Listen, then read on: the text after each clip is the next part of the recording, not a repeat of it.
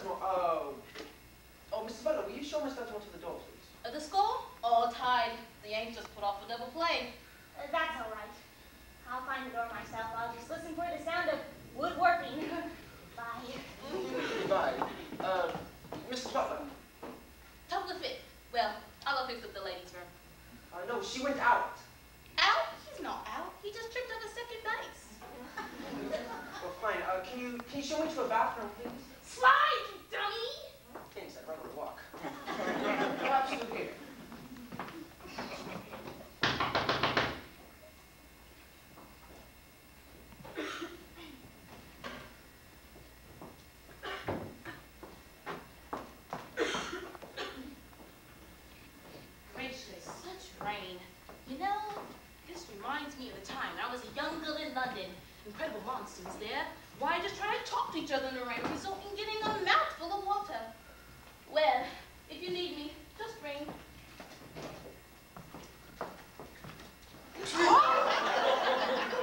I am so sorry. I had to come back in. My carburetor's flooded. I know the feeling. Mr. Nimby, can I use your phone? I gotta call my mother and tell her that her car just drowned. She's gonna just die. She loves that car. Now, Miss Dunsmore, don't get so upset. We'll find somebody who gives mouth to Buick resuscitation. Oh, now that's good.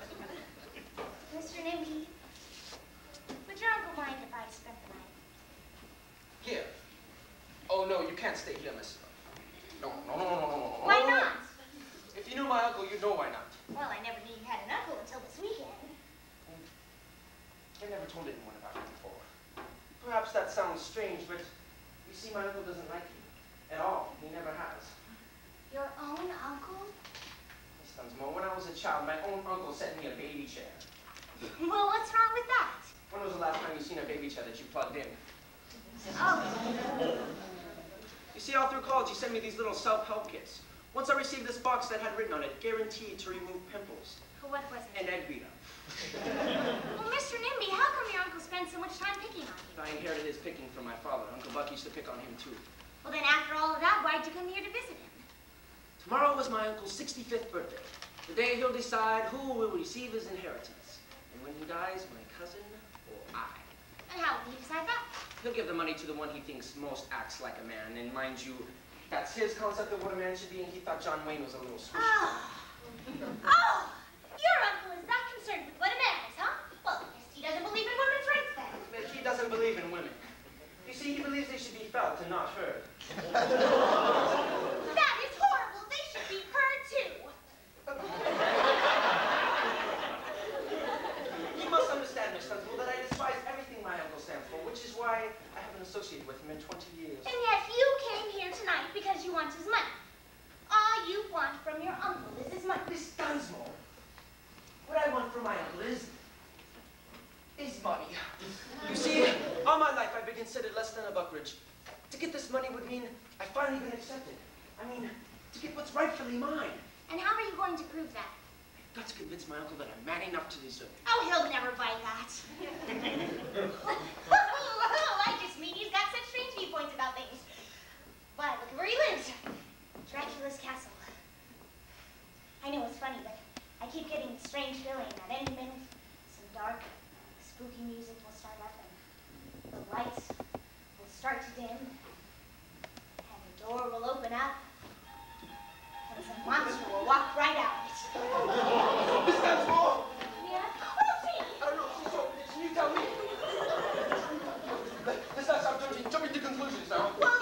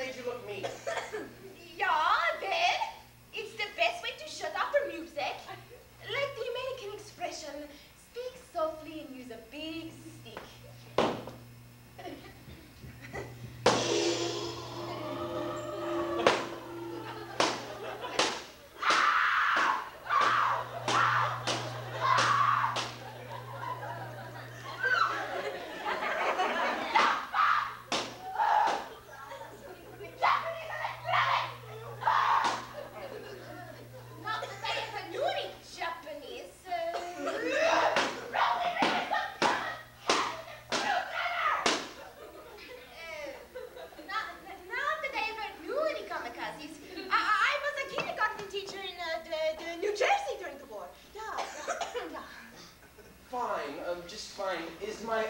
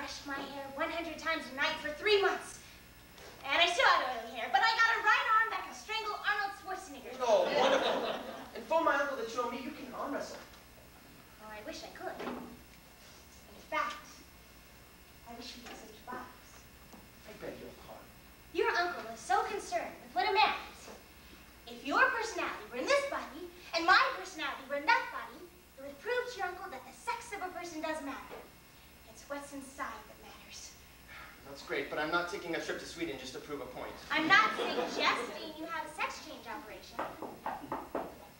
That must be Brad. Look, you still need your help in this journey. Please help. Oh, Just back me up in whatever I say. well, I'm not a very good liar, but, but I'm sure I'll help you. I'm gonna pop you in the room for a cigar. I'm better to make my entrance with. Yes, I'm Mrs. Butler. You know, this storm reminds me of the time when I was a young girl in England. Incredible monsoons there. Why just try and talk to him in the rain will result in getting a mouthful of water. well, if you need me, just ring. A mouthful of water. oh my goodness, I did get a purse full though. Where is it gone? Oh. Oh, I'm I'm so sorry. Smokey the Bear would have been proud of you, but I'm only thankful you didn't have a shovel. Well, I'm Roberta Ashton. Brad has told me so much about you. Funny. they don't look all that much. Oh, um, this is Miss Nancy Dunsmore. Hi. Actually, I don't think Brad told me that much about you after all. Oh, did he tell you I was in the movies also? Um, no. I don't talk to Brad that often. Well, maybe you've seen some of my work. No, but uh, Miss, Miss Dunsmore's a film buff. Have you ever seen any of her movies, Miss Dunsmore? No, I can't say that I've seen any of her epics. Well, I guess you don't get out much at your age. yes. I'm doing bit parts right now, extra work. But I prefer it that way. How very interesting. Yes, I want to learn every facet of filmmaking before I become a star or something like that. The producers say that I should be experienced in all job positions. Oh, yes, I'm sure many producers find you experienced in all positions. Uh, uh, Miss Ashton, uh, is Brad around? Oh, yes, he's out parking the car. He'll be in any minute. Um, I'm gonna pop into the room for uh, a new cigar. Can I get you anything? Oh, no, thank you. I've got everything.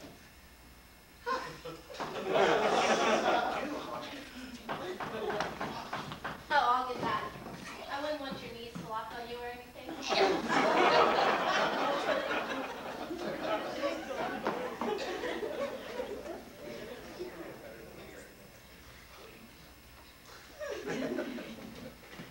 Was that Brad? Yes, the community chest of Hollywood went to get him.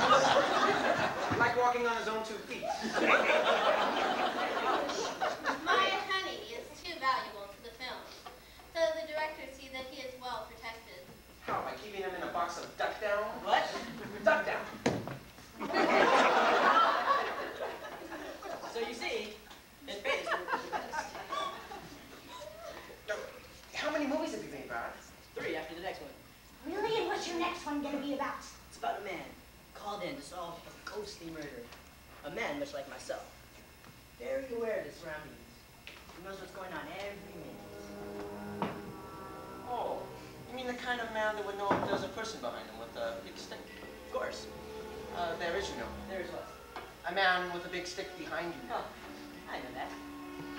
They fixed it, right? Correct.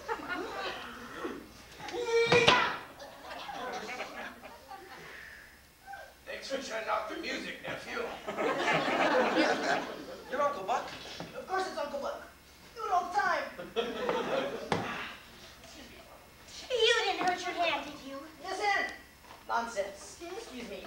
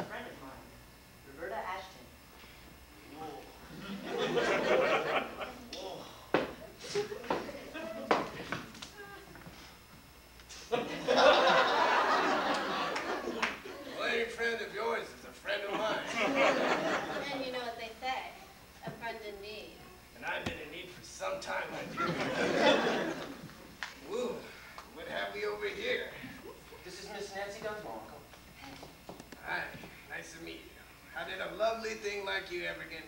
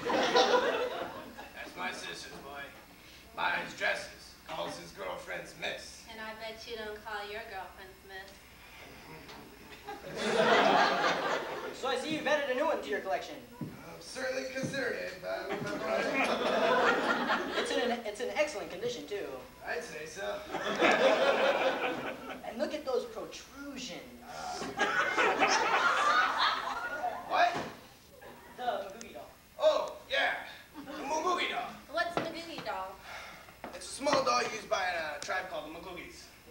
Used for what? For, uh, for a process where two people would switch bodies for a short period of time. Uh, what? Let me.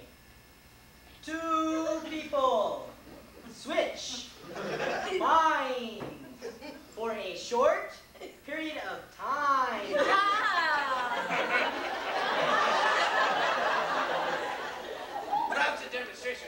fruit. Perhaps we can get some fruit at this demonstration. yes.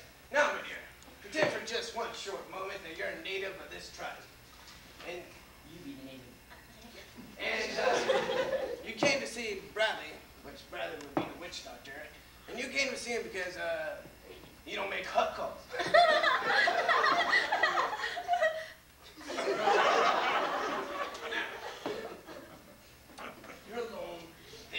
ceremony Outside are the sounds of the Muguli drummers.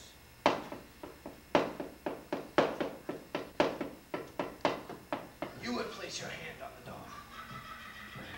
He would place his hand on the dog. Then you guys would stare into each other's eyes. And as the music gets louder, you start to shake and shake and shake. And when the drumming stop, you stop. At this point, you guys switch bodies. In other words, you being his body and he being your body. But what would anyone want to be in a body like this for? Any numbers, I think. um, they say it's very religious. They say, uh, entering your brother's body, you attain better knowledge. Get closer to spirits. It also clears up any nasal congestion you might have. So how would they get back into their own bodies? Simply by repeating the system, hand on doll, drumming, boom, bop, bing, you're back. now, my dear, how would you like to assist me in the wine cellar to go pick out the perfect vintage vino for dinner? So how long have you had the Magoogie doll? I would love to. Mm-hmm. Right this way, my dear. How long have you had the doll? Have you long the doll, the doll how? Have you long the how long? Good luck. Where'd they go? Well, when they get back, you know what to say. Yes. I told him I made a mistake. That I didn't get you in the dress store. And where are you going to tell them we didn't? In Fredericks of Hollywood. what was I doing there? Come on, come on, come on. What was I doing there? It was Valentine's Day and you were buying tassels for all your women. Right. Mr. Nimby, I can't say that. Outside of graduating seniors, I don't know anyone who wears tassels. I've got to make him believe that I've got a heck of a love life. Mr. Nimby, you haven't had a date since I've known you. How do you know? I'm your secretary. I know things like that. Well, stop knowing things like that, for God's sake. Mr. Nimby, uh, all the other girls at the office want to know why a handsome, distinguished man of 39 is married. Because I'm a spelunker. And I'm not 39. My birthday was last week. I'm...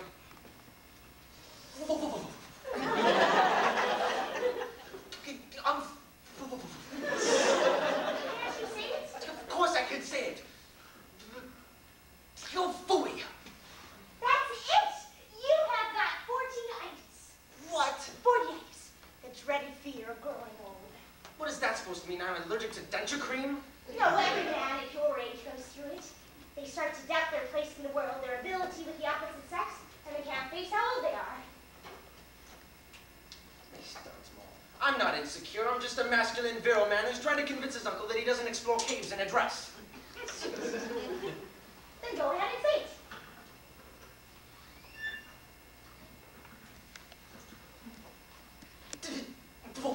I rest my case. Why don't you rest your face? Mr. Nimby, it's only natural. You see, I know about these things, because next week I'll be 30. Well, then you should know how I feel, and you should uh, help me. Well, I can't help you by lying, and you can't help you by being something you're not. Please. All right, on one condition. What? That you look me in the eye and tell me how old you are. I'm.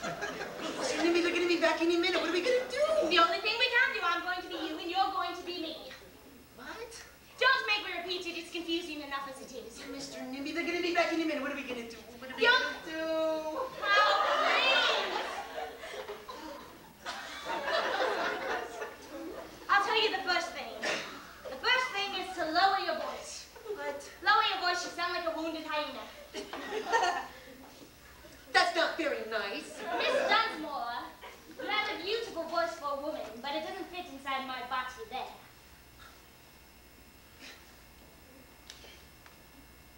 How's this? You sound like Howdy Doody. Lower it until you sound like Buffalo Bob. How about now?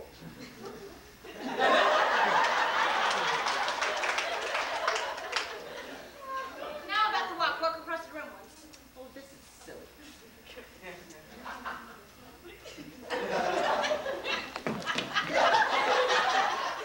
Was that all right? Oh, it was Peachy King. Well, I walked like that my whole life. Now, now, Miss Dunsmore, I know you're doing the best you can. Well, I am. And please don't cry. You wouldn't believe what it does to the mustache. I was only trying to teach you how to walk. Well, they'll never believe you're a man. Now, what's so difficult about walking like a woman? You look like a seasick camel. But you must have laughed like a man. Ha ha ha! Can we get on with this, please? Okay, but let me show you how a, a woman walks. All right, but a man's walk has to have confidence.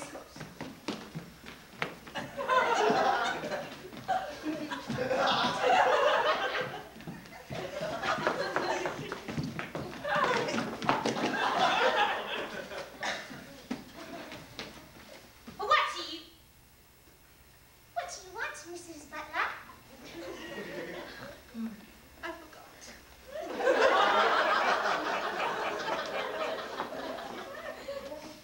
Oh, the master wants to know if you've been doing the recording there. Uh, no, thank you, Mrs. Butler. Very well then. we'll be joining you in, in a few minutes. Still raining, you know? This reminds me of when I was a young girl in London.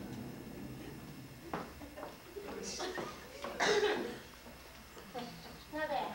You did very well. That wasn't so bad. Yes, but I just couldn't be a man for another minute. Oh, of course you can. Just smoke and drink a lot. I can't drink. Uh, why not? Um, I can't tell you. Miss Dunsmore, what could you possibly do that could be so bad? I do terrible things. Such as what? I become a terrible flirt. And how do you know that? Well, once when I was in college, I was invited to this party. And there was some drinking going on, and people decided to play post office. Well, this boy talked me into drinking some beer, and it was the first time I ever had any liquor in my life. And did you play post office then? Oh, yes. and I think afterwards I was postmaster general. I don't really remember why though. Just for weeks afterwards, boys kept asking me. They wanted to know if I wanted to go up this first first class special delivery. My little Miss Dunsmore. A flirt? I take one little drink and I start making passes at anything with a deeper voice than mine. Well, then make sure you keep your voice low. Mr. Nimby, I can't do this. Of course you can. Just, can you smoke? I've been allergic to smoke all my life. And there you are puffing away on that cigar. You should be coughing up a storm. Uh, well, maybe it's because I haven't taken any large puffs. Here, watch. Well, maybe if I inhaled a little more. Maybe deeper. Maybe if I lit it.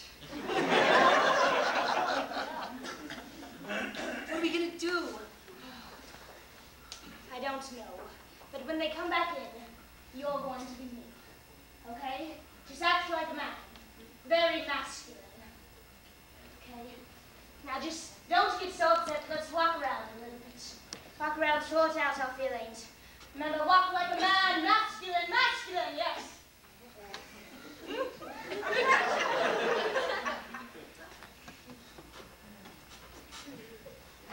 you can't do this. Uncle's gonna take one look at me, and he's gonna think I'm a sissy. And oh, ow!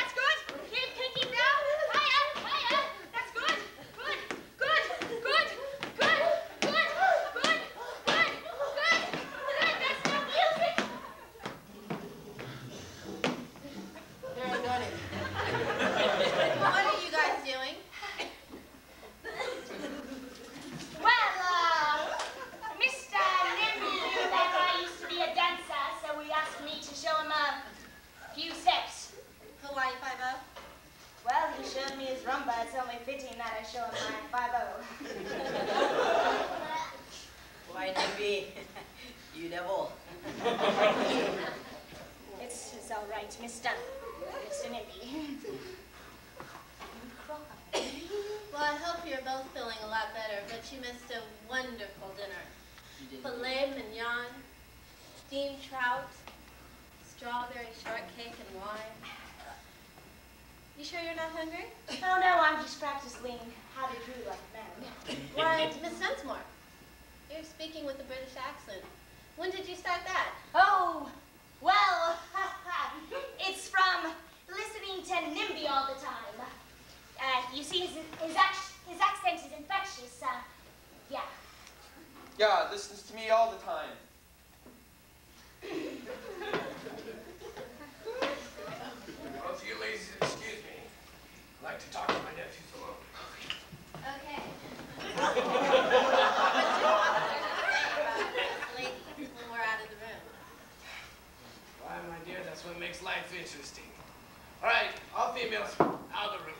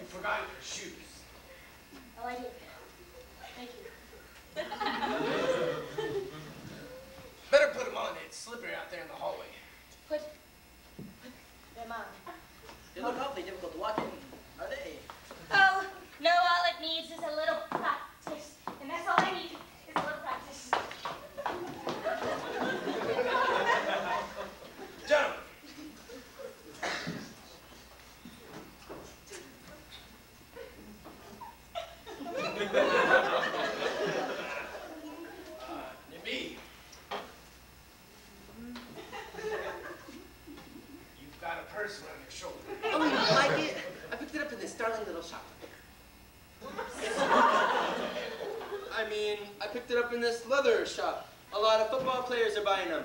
A lot of wrestlers are buying it.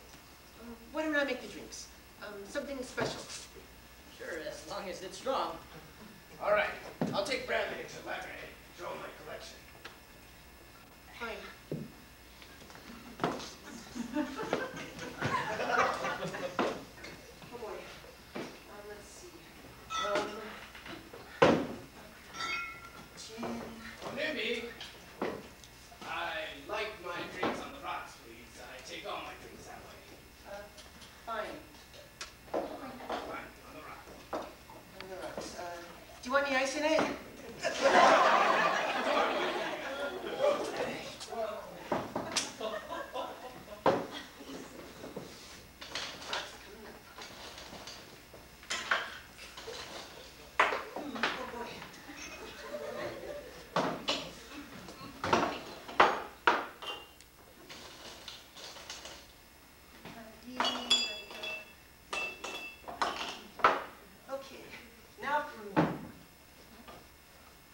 cab around here?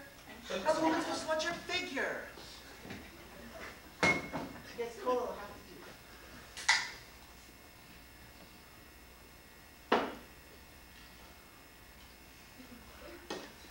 ready? Yep, all done. You're sure it's wrong. It's the best I could do. You're out of sternum.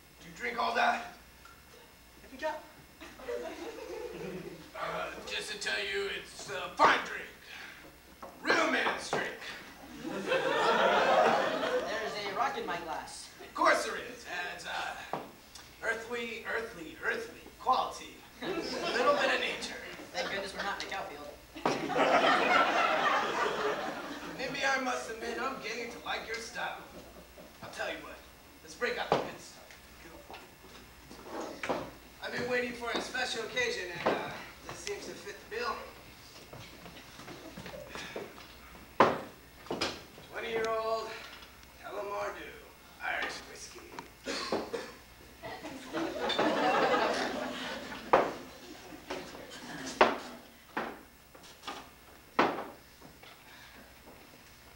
Are we gonna put rocks in it?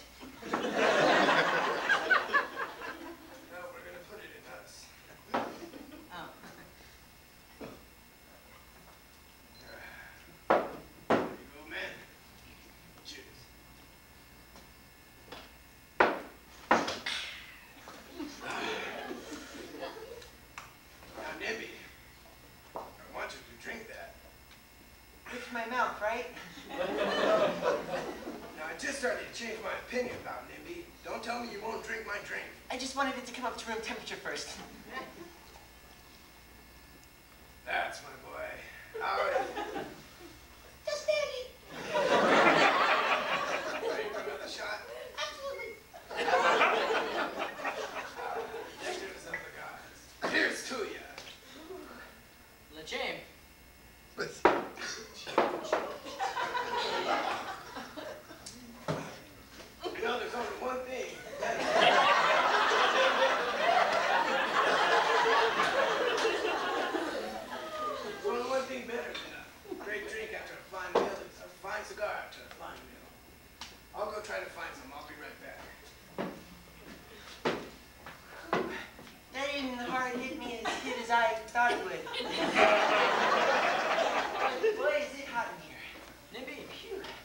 two minute man to man.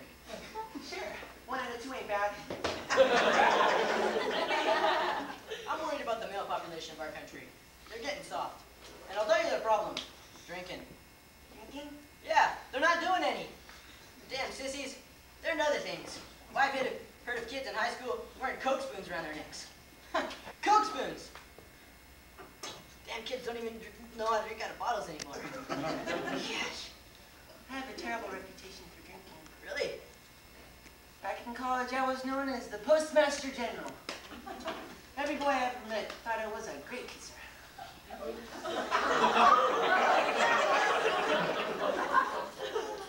really?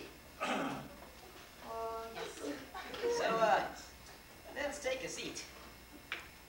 My place or yours? How about the sofa? All righty forget the drinky poos. drinky poo. Oh, I mean whiskey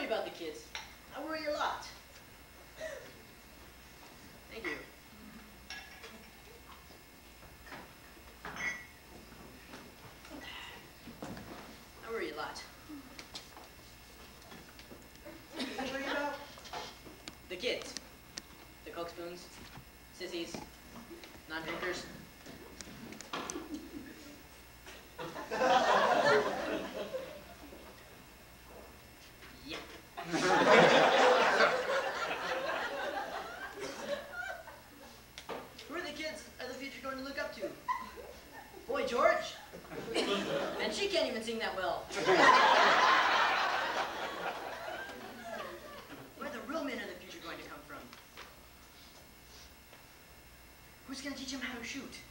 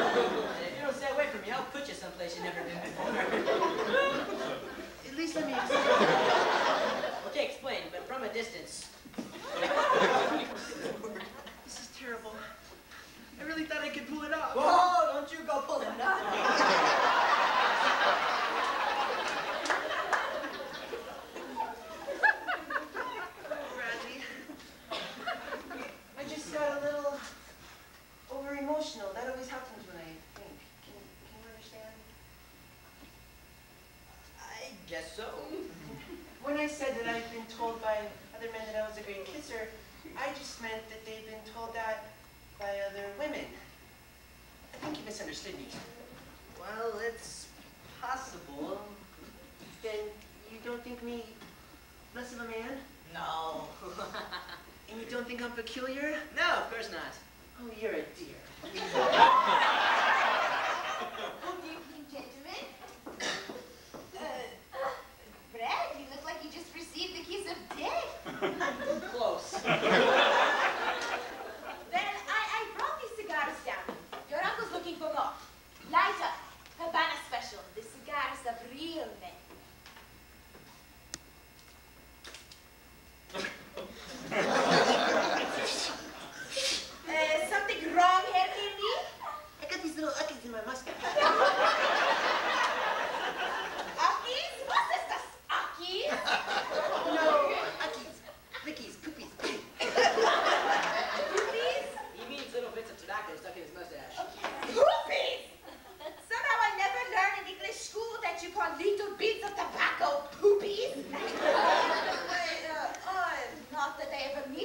English school. I was born in uh, Iowa. Yeah, yeah. yeah. So when is Uncle Buck going to be down? Uh, any minute. But, as his personal secretary, I must inform you that you gave me.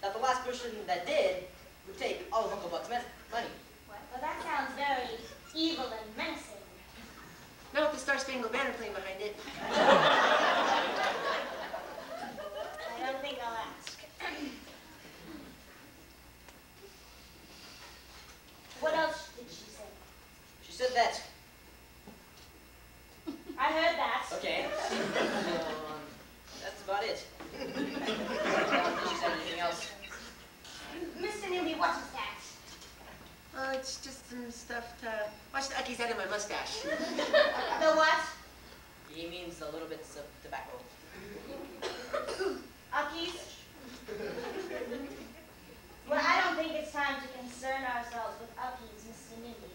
You're right, it's not. That von Shogunov person, she's quite a character. Mm-hmm. Why? Because she has a thick accent and carries a big stick, and I should be the only normal person here. Yeah. Do you know what? That does sound awfully evil in medicine. Maybe we should let Uncle Buck on this. What do you think? Good idea. I'll get him. Get him. hey, Uncle Buck!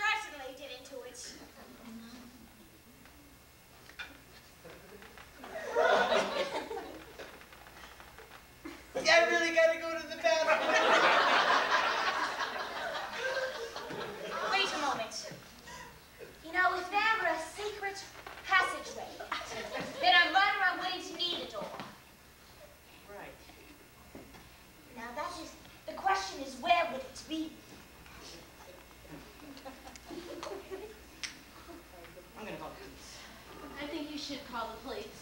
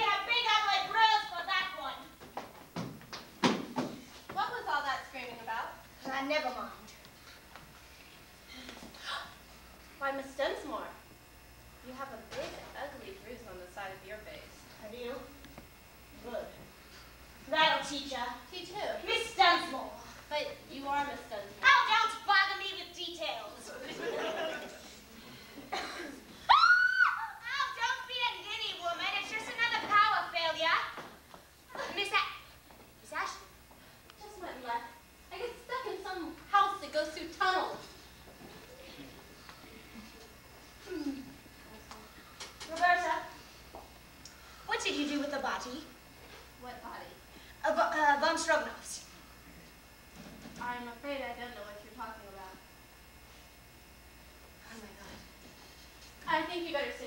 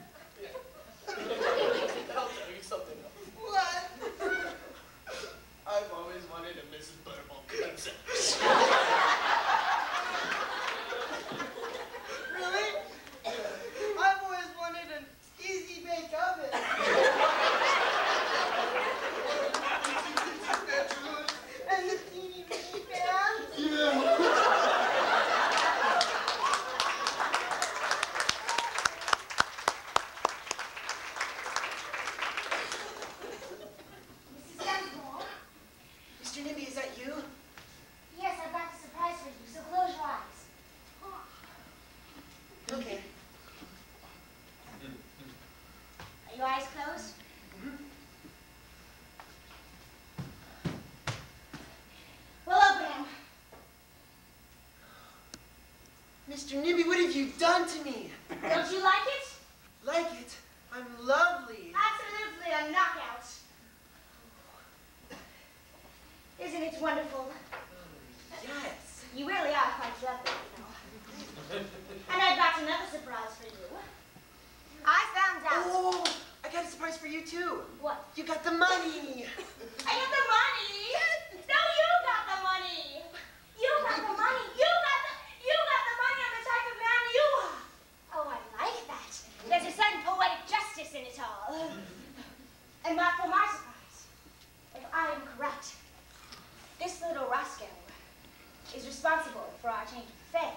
And if I am correct, I will be my own body before my 40th birthday. Mr. Nimby, what did you say? I said when I'll be... I said... I said I'll be 40. And how old will I be in 10 years? 40. And how old will you be in 10 years?